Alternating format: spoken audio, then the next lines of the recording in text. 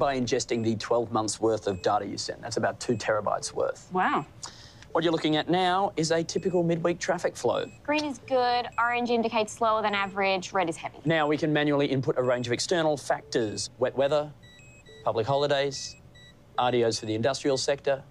Breakdown on a major arterial, That's pretty impressive. So we've taken your project. the road upgrade, extra lanes, on and off ramp lengthening. We factored in all those improvements. So, starting with current flow during peak, then during construction, some problems, Of course.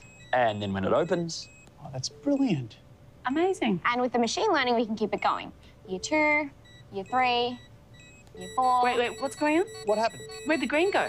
What happened? Why does the traffic get worse? have you heard of the Jevons paradox? I'm hoping they're a death metal band. It basically states that the better you make something like a road, the more people will use it. Isn't that a good thing? No, it means you spend a lot of money now for a very short term benefit. So there is some benefit. Oh, sure. Average travel times crossing the city will be cut by two and a half minutes, or a little less. Call it two. Really? And that lasts for 14, 15 months. Then declines. Ah, no, stays flat. Then declines. Well, for $300 billion, I guess we were hoping for something a little more dramatic. Two and a half minutes. Call it two. You don't look happy.